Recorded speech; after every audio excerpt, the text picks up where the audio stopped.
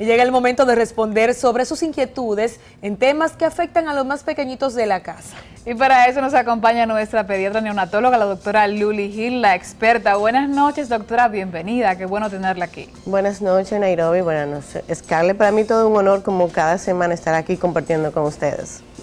Bueno, y ya están aquí las inquietudes de nuestros televidentes sobre sus hijos. La primera dice, doctora, mi hijo nació con un tipo de sangre diferente a la mía. Se puso amarillo y lo ingresaron. Le pusieron una lámpara azul. ¿Cuáles son los efectos secundarios de esto y por qué pasó? Buenas. Se recomienda que investigue directamente qué tipo de sangre tiene tu bebé. Probablemente este niño tiene una incompatibilidad sanguínea con el tipo de sangre. Ocurre de dos tipos. El niño es hijo de madre RH negativo o una incompatibilidad ABO. Y el tratamiento correcto es colocar una lámpara de fototerapia para que degrade los niveles de bilirrubina, que son los que se ven alterados en este tipo de patología en niños.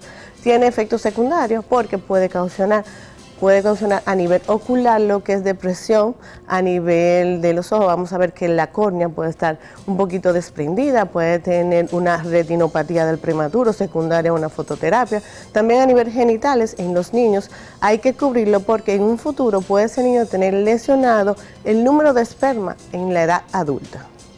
Doctora, otra inquietud que nos llega de una televidente preocupada. Dice, doctora, ¿qué hago si pienso que mi bebé está siendo abusada por un familiar cercano? Esto me tiene mal y estoy desesperada.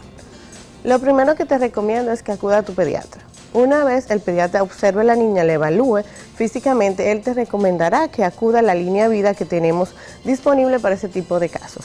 Después que en línea vida te aseguren y te confirmen con el médico legista si ocurrió o no el hecho, te recomiendo que esa niña la lleve a terapia psicológica y que identifique la persona que ocasionó este tipo de trastorno. Es importante que la alejes de la casa lo más que tú puedas, que vayan a terapia de pareja, si es tu esposo o tu pareja actual, o a terapia familiar. Pero es importantísimo las terapias y que confirme o no el hecho.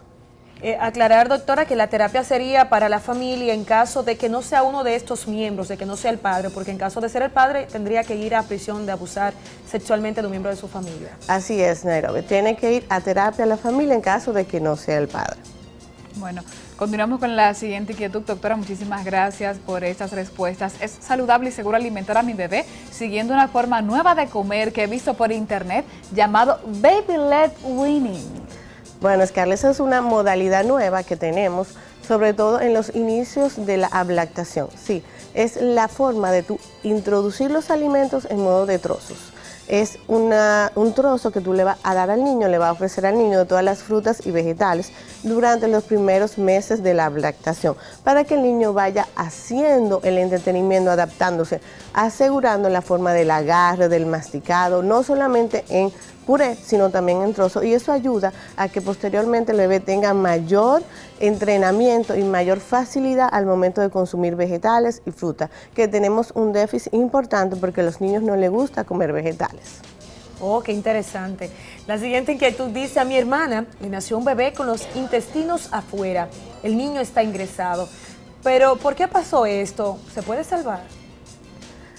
Realmente hay que identificar qué tipo de patología tiene. Existe dos tipos de patología que son defectos de la pared abdominal. Una es la gastroquisis y otra es el onfalocele. Hay que identificar cuál de las dos patologías tiene tu bebé. La gastroquisis tiene mayor sobrevivencia que el onfalocele, pero lo importante es saber cuáles de los defectos abdominal tiene el bebé al momento de estar ingresado y si lo llevaron a cirugía o no, porque de eso va a depender mucho el pronóstico del bebé.